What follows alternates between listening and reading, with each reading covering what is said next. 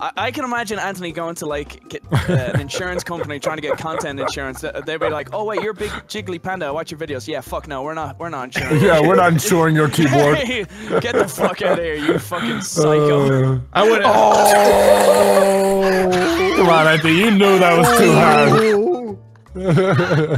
Monitor, your uh. life is limited. You're about to get a. Fi-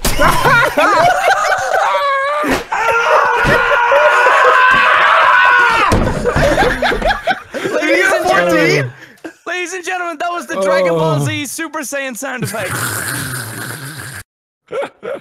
oh, fucking done.